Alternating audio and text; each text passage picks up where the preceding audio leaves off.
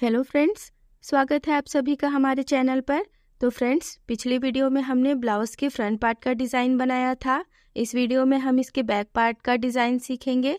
तो front part का video अगर आप लोगों ने अभी तक नहीं देखा है तो एक बार आप चैनल पर जाके विज़िट ज़रूर कर लीजिएगा। तो चलिए फ्रेंड, वीडियो शुरू करते हैं। तो इसकी कटिंग हम सबसे पहले अस्तर पर करेंगे। तो देखिए फ्रेंड, मैंने अस्तर को एक बार फोल्ड कर लिया है। ये ओपन साइड है और ये हमारा है फोल्डेड साइड। तो आपके ब्लाउज की जितनी भी लेंथ होगी, उसमें आप एक इंच प्लस कर दीजिए। तो मेरी ब्लाउज की लेंथ है साढ़े तेरह इंच। एक इंच प्लस करने के बाद यह साढ़े चौदह इंच का हो जाएगा। शोल्डर मैंने रखा है छः इंच, बराबर करने के लिए नीचे के साइड भी छः इंच पर मार्क कर लेंगे। और आर्म होल की लंबाई मैंने रखी है छः इंच। ये देखिए, इस तरीके से मार्क करने के बाद लाइन ड्रॉ कर लेंगे। तो इस ब्लाउज को मैं छत्तीस इंच चेस्ट साइज़ के अकॉर्डिंग तैयार करूँगी। तो छत्तीस का यहाँ हम चौथा हिस्सा लेंगे तो नौ इंच पर मार्क कर लेंगे। ये देखिए, और डेढ़ इंच सिलाई मार्जिन के लिए रखेंगे। तो इसी तरीके से जो मेरी कमर की फिटिंग है, तीस इंच की है तो तीस का हम चौथा हिस्सा लेंगे, साढ़े सात इंच पर। एक इंच हम टक्स के लिए मार्किंग करेंगे और डेढ़ इंच सिलाई मार्जिन के लिए रखेंगे। ये देखिए तो इस तरीके से मार्किंग करने के बाद लाइन ड्रॉ कर लेंगे और यहाँ पर गुलाई देते हुए आर्म होल का सेव दे देंगे। ये देखिए, इस तरीके से अब हम नेक की मार्किंग करेंगे। तो नेक की चौड़ाई मैंने रखी है ढाई इंच। आप अपने मेज़रमेंट के हिसाब से यहाँ नेक की चौड़ाई रखेंगे। तो लंबाई मैंने रखी है ग्यारह इंच। यहाँ भी आप अपने पसंद से नेक की लंबाई रख सकते हैं। तो ढाई इंच पर मार्क करने के बाद सीधी लाइन ड्रॉ कर लेंगे। ये देखिए इस तरीके से सीधी लाइन ड्रॉ कर लेंगे। तो यह जो डिज़ाइन है फ्रेंड, मैं वी नेक पर बनाऊँगी। तो इस तरीके से लाइन खींचते हुए हम वी का सेव दे देंगे। ये देखिए, इस तरीके से। अगर आप इसको ऐसे ही रखना चाहते हैं तो ऐसे भी रख सकते हैं, लेकिन मैं यहाँ पर हल्का सा इसमें राउंड शेप दे दूँगी। ये देखिए, हल्का सा। अब हम यहाँ टक्स के लिए मार्किंग करेंगे। तो ये देखिए, साढ़े चार इंच पर हम मार्क करेंगे और ये जो मार्क है, वहाँ पर छोटी सी कट लगा लेंगे। ये देखिए तो इस तरीके से हमारी टोटल मार्किंग हो चुकी है। अब हम इसकी कटिंग कर लेते हैं। ये देखिए तो इस तरीके से हम कट कर लेंगे। नेक की कटिंग हम बाद में करेंगे। तो यहाँ तक कटिंग करने के बाद अब हम इसको ओपन करेंगे। ये देखिए, और इसको इस तरह से पलट लेंगे। पलटने के बाद ये जो हमारी नेक की मार्किंग है, उसको हम दूसरे भाग पर भी ले जाएँगे। ये देखिए, इस तरीके से दूसरे भाग पर मार्किंग करने के बाद इसको हम गहरा कर लेंगे। ये देखिए, इस तरीके से अच्छे से गहरा कर लेंगे और इसको फिर से फोल्ड कर लेंगे। फोल्ड करने के बाद इसके सेंटर पर हम छोटी सी कट लगा लेंगे। ये देखिए तो चलिए फ्रेंड अब हम इसकी कटिंग मेन फैब्रिक पर भी कर लेते हैं। तो ये देखिए मेन फैब्रिक भी मैंने कट कर लिया है और सभी तरफ़ से हाफ़ हाफ़ इंच एक्स्ट्रा रखा है। तो इस तरीके से हम मेन फैब्रिक को ओपन करेंगे और जो अस्तर का कपड़ा है, उसको भी ओपन करते हुए इसके ऊपर बिछा देंगे। ये देखिए तो अच्छे से सेंटर से सेंटर मिलाते हुए इसको हम सेट कर देंगे और पिन से अटैच कर देंगे। ये देखिए, ताकि सिलते समय हमारा जो कपड़ा है इधर उधर ना खिसके। तो अच्छे से हम यहाँ पर पिन से अटैच कर देंगे। और ये देखिए, जहाँ पर हमारी लाइन है, उसके आधे इंच की दूरी पर, या फिर आधे इंच से हल्का सा आप कम ले सकते हो, उतने दूरी पर हमें सिलाई लगा लेना है। ये देखिए, और पूरे में कंप्लीट कर लेना है। तो ये देखिए फ्रेंड, पूरे ब्लाउज़ में मैंने सिलाई लगाकर कंप्लीट कर लिया है। अब जितनी भी हमारी एक्स्ट्रा फैब्रिक होगी, उसको हम कट करके अलग कर लेंगे। ये देखिए, इस तरीके से एक्स्ट्रा फैब्रिक भी मैंने कट करके अलग कर लिया है। अब हम इसको सेंटर से फोल्ड कर लेंगे और जो हमारी मार्किंग है, उसी पर कट लगा लेंगे। ये देखिए, इस तरीके से हमने नेक की कटिंग कर लिया है। अब ये जो हमारा कटा हुआ भाग है, उसकी मार्किंग हम पेस्टिंग पेपर के ऊपर भी कर लेंगे। ये देखिए, अगर चाहें तो फ्रेंड आप पेस्टिंग पेपर लगा सकते हैं। नहीं तो ऐसे भी सिलाई लगा सकते हैं। पर पेस्टिंग पेपर लगाने से वी नेक के ऊपर अच्छे से मजबूती आएगी।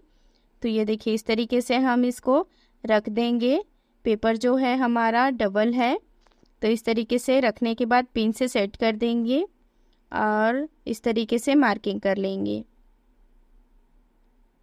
ये देखिए, अच्छे से मार्किंग को हम गहरा कर लेंगे और कम से कम सवा एक इंच की दूरी पर हम दूसरी मार्किंग कर लेंगे।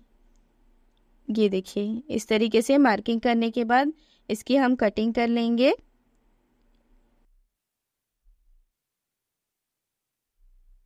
तो यहाँ तक कटिंग करने के बाद अब हम पिन को निकाल लेंगे। ये देखिए। अब हम इसको सेंटर से एक बार फोल्ड कर लेंगे और ये जो हमने मार्किंग करी है, उसको हम दूसरे साइड भी ले जाएँगे। ये देखिए, इस तरीके से हमने दूसरे साइड भी इसकी मार्किंग कर ली है। अब हम इसको गहरा कर लेंगे और प्रेस करके इसको कपड़े पर चिपका लेंगे। तो इस तरीके से मैंने प्रेस से चिपका लिया है और हाफ़ हाफ़ इंच सभी तरफ़ से एक्स्ट्रा रखा है। उसी एक्स्ट्रा कपड़े को हम इस तरीके से फोल्ड करते जाएँगे और इसको कंप्लीट कर लेंगे। ये देखिए, इस तरीके से। और ये जो हमने मार्किंग करी है, उसके थोड़ी दूरी पर हम सिलाई लगा लेंगे। ये देखिए, इस तरीके से। सिलाई लगाते हुए इसको कंप्लीट कर लेंगे। उसके बाद जो ये अंदर का हमारा एक्स्ट्रा पेपर है, उसको हम कट करके निकाल लेंगे। ये देखिए, इस तरीके से हमने कट करके निकाल लिया है। अब हम ब्लाउज़ को लेंगे और नेक को इस तरीके से सेट कर देंगे। ये देखिए, और पिन से अटैच कर देंगे। ये देखिए, कम से कम दो से तीन जगह हम यहाँ पिन लगाकर अटैच कर देंगे। इस तरीके से और जहाँ पर हमने पहले सिलाई लगाया था, उसी के किनारे पर हम एक और सिलाई लगा लेंगे। ये देखिए, इस तरीके से अच्छे से किनारे किनारे और सिलाई लगा लेंगे। तो यहाँ तक कंप्लीट करने के बाद अब हम नेक के किनारे पर छोटी छोटी कट लगा लेंगे। ये देखिए, पूरे राउंड पर। अब हम इसको इस तरीके से पलट लेंगे। ये देखिए और पट्टी के ऊपर एक टॉप स्टिच लगा लेंगे। ये देखिए, इस तरीके से धागे की कटिंग करने के बाद अब हम पट्टी को बैक साइड ले जाएँगे और अच्छे से सेट करने के बाद इस पर प्रेस चला लेंगे। तो ये देखिए फ्रेंड, अच्छे से मैंने प्रेस लगा लिया है। अब हम इसको एक बार फोल्ड करेंगे बीच से। और टक्स के लिए हमने जहाँ पर कट लगाया था, वहाँ एक और बार कट लगा लेंगे। और यहाँ से पौने एक इंच के ऊपर एक मार्क करेंगे। और इस तरीके से कट के ऊपर मिला लेंगे। ये देखिए, इस तरीके से और इसकी हम कटिंग कर लेंगे। ये देखिए, इस तरीके से कट कर लेंगे ओपन कर लेंगे। अब यहीं टक से हम कपड़े को इस तरीके से फोल्ड करेंगे। हाफ़ इंच अंदर की ओर दबाएँगे और ऊपर की ओर मार्क करेंगे, पौने पाँच इंच पर। ये देखिए, पौने पाँच इंच पर मैंने मार्क कर लिया है। इसी मार्क से मिलाते हुए हम अच्छे से सिलाई लगा लेंगे और लॉक लगा लेंगे। तो सेम मेथड यूज़ करते हुए हम दूसरे साइड के टक्स को भी रेडी कर लेंगे। ये देखिए, यहाँ भी हम हाफ़ इंच अंदर की ओर दबाएँगे और ऊपर की ओर पौने पाँच इंच पर मार्क कर लेंगे। इसी मार्क से मिलाते हुए इसको भी हम कंप्लीट कर लेंगे। ये देखिए, धागे की अच्छे से कटिंग कर लेंगे। तो इस तरीके से हमारा यह टक्स लग के तैयार हो चुका है। अब हम क्या करेंगे? इसके किनारे पर पट्टी अटैच करेंगे। तो ये देखिए फ्रेंड दो इंच चौड़ा मैंने पट्टी लिया है। उसको इस तरीके से ब्लाउज़ के ऊपर रखेंगे और दोनों को अटैच कर देंगे। ये देखिए, जो भी हमारी एक्स्ट्रा फैब्रिक है, उसको हम कट कर लेंगे और इसके किनारे पर छोटी छोटी कट लगा लेंगे। इस तरीके से पट्टी को पलट करके इसके ऊपर टॉप स्टिच लगा लेंगे और ब्लाउज़ को उल्टा करते हुए पट्टी को फोल्ड कर लेंगे। ये देखिए, इस तरीके से उल्टा कर लेंगे ब्लाउज़ को और पट्टी को हाफ़ इंच अंदर की ओर फोल्ड करते हुए इसके किनारे पर सिलाई लगा लेंगे। ये देखिए, इस तरीके से अच्छे से बराबर फोल्ड करते जाएँगे और इसको कंप्लीट कर लेंगे।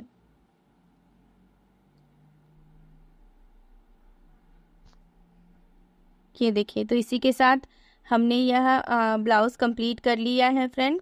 अब डिज़ाइन बनाने के लिए हम कपड़ा लेंगे। तो देखिए, ढाई इंच चौड़ा मैंने ये कपड़ा लिया है बहुत सारा। इस तरीके से हम फोल्ड करेंगे ट्रायंगल शेप में और इसके किनारे पर सिलाई लगा लेंगे। ये देखिए। और फिर धागे की कटिंग करने के बाद इसके किनारे को भी बराबर कट लगा लेंगे। तो सेम इसी तरीके से हम बहुत सारा ट्रायंगल शेप का ये डिज़ाइन बनाकर कंप्लीट कर लेंगे। तो अभी के लिए हम इसको साइड कर देते हैं। अब हम ये अलग सा कपड़ा लेंगे बो बनाने के लिए। तो देखिए फ्रेंड ये मैंने अस्तर का कपड़ा लिया है, जिसको मैंने एक बार फोल्ड कर लिया है। फोल्ड करने के बाद चौड़ाई मैंने रखी है पाँच इंच और लंबाई है सात इंच।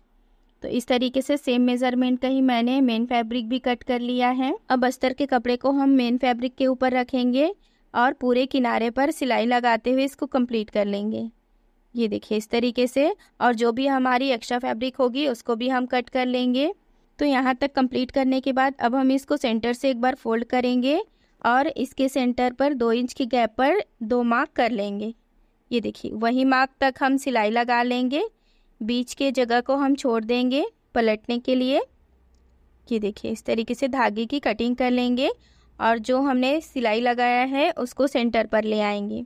ये देखिए, इस तरीके से सेंटर पर ले जाने के बाद दोनों किनारों को हम सिलाई लगा लेंगे। ये देखिए सेम इसी तरीके से आप भी सिलाई लगा लेंगे। इस किनारे को भी अच्छे से सिलाई लगाते हुए इसको कंप्लीट कर लेंगे। ये देखिए, इस तरीके से। धागे की कटिंग करने के बाद इसके किनारे पर हम कट लगा लेंगे एक्स्ट्रा कपड़ा। ये देखिए इसके कॉर्नर पर भी हम अच्छे से कट लगा लेंगे ताकि यह अच्छे से पलट जाए और इसके कॉर्नर अच्छे से दिखे। ये देखिए, जहाँ पर खुला जगह था, वहाँ से हम कपड़े को निकाल लेंगे बाहर और इसको सीधा कर लेंगे। ये देखिए, इस तरीके से अच्छे से कोई सी भी नुकीली चीज़ की सहायता से इसके कॉर्नर को निकाल लेंगे और जहाँ हमारा खुला भाग था, उसको सिलाई करके बंद कर देंगे। ये देखिए तो इस तरीके से हमारा यह चौकोर शेप का बन गया है। अब हम इसको बीच से एक बार फोल्ड कर लेंगे और इसके सेंटर पर मार्क कर लेंगे। ये देखिए, इस तरीके से मार्किंग हमने कर लिया है। अब इस तरीके से चुन्नट बनाते हुए हम इसको फोल्ड कर लेंगे। ये देखिए तो इस तरीके से हमारा यह बो बन के तैयार हो गया है। बीच को हम सुई धागे की मदद से सिलाई कर लेंगे। या फिर मशीन से भी सिलाई कर सकते हैं। अब बो के नीचे रिबन बनाने के लिए मैंने ये कपड़ा लिया है, जिसकी लंबाई मैंने रखी है साढ़े आठ इंच और डबल में इसकी चौड़ाई है तीन इंच। अब यहाँ से दो इंच पर हम मार्क करेंगे और नीचे साइड से ऊपर की ओर दो इंच पर मार्क कर लेंगे। इन दोनों मार्क को मिलाते हुए तिरछी लाइन खींच लेंगे। यहाँ से भी हम नीचे की ओर तिरछी लाइन खींच लेंगे और इसकी कटिंग कर लेंगे। ये देखिए तो सेम कटिंग हम दूसरे फैब्रिक पर भी कर लेंगे। क्योंकि यहाँ हम दो रिबन बनाएँगे। अगर आप चाहें तो इस रिबन का लंबाई आप ज़्यादा भी रख सकते हैं। मैंने यहाँ नॉर्मल साइज़ का रखा है। ये देखिए, इस तरीके से दोनों को कट करने के बाद इसको हम सिलाई लगा के कंप्लीट कर लेंगे। तो ये देखिए, इस तरीके से बिल्कुल किनारे पर हम सिलाई लगा लेंगे। कंप्लीट करने के बाद इसको हम सीधा कर लेंगे। ये देखिए, इस तरीके से अच्छे से इसके पॉइंट को निकाल लेंगे। ये देखिए, बराबर। ये देखिए कॉर्नर को अच्छे से निकालने के बाद अगर आप चाहें तो इस पर प्रेस लगा सकते हैं, लेकिन आपका कपड़ा अगर मुड़ा हुआ ना दिखे तो आप इस पर प्रेस ना लगाएँ। ये ऐसे ही फुला फुला ज़्यादा अच्छा दिखता है। तो इस तरीके से दोनों को हम तिरछे में ज्वाइन कर लेंगे। ये देखिए। इस तरीके से ज्वाइन करने के बाद ये जो हमारा बो है, वो ऐसे लगेगा। तो जो हमने ट्रायंगल शेप में डिज़ाइन बनाया था, उसको इस तरीके से नेक के नीचे रखते जाएँगे। ये देखिए, बहुत ही इजी है फ्रेंड इसको बनाना। आप भी बहुत ही आसानी से यह डिज़ाइन बना सकते हो। तो इस तरीके से एक एक करके हम पूरे नेक पर इसको लगा करके कंप्लीट कर लेंगे। ये देखिए, यहाँ तक इसको हमने कंप्लीट कर लिया है फ्रेंड अब अच्छे से लॉक लगाने के बाद धागे की कटिंग कर लेंगे। ये देखिए, इस तरीके से यहाँ पर हमने चौदह पीस ट्रायंगल शेप का डिज़ाइन लगाया है। आप चाहें तो इसे पास पास में भी लगा सकते हैं या दूर दूर में भी लगा सकते हैं। तो जो हमने रिबन तैयार किया था, उसको नेक के कम से कम एक इंच नीचे हम इस तरीके से रख देंगे और इसके ऊपर सिलाई चला लेंगे। ये देखिए, और धागे की कटिंग कर लेंगे। अब लास्ट जो हमने बो तैयार किया था, उसको इस तरीके से रखेंगे और सुई धागे की मदद से इसको अटैच कर देंगे। और हम कोई सा भी मैचिंग का या फिर अपने पसंद का बटन लगा लेंगे बो के सेंटर पर। तो इसी के साथ हमारा यह डिज़ाइन बनकर कंप्लीट हो गया है। तो फ्रेंड्स आप सभी को यह डिज़ाइन कैसा लगा कमेंट करके ज़रूर बताइएगा। अगर अच्छा लगा हो तो एक लाइक ज़रूर कीजिएगा। तो फ्रेंड्स वीडियो पूरा देखने के लिए बहुत बहुत धन्यवाद। मिलते हैं नेक्स्ट वीडियो में। तब तक के लिए बाय बाय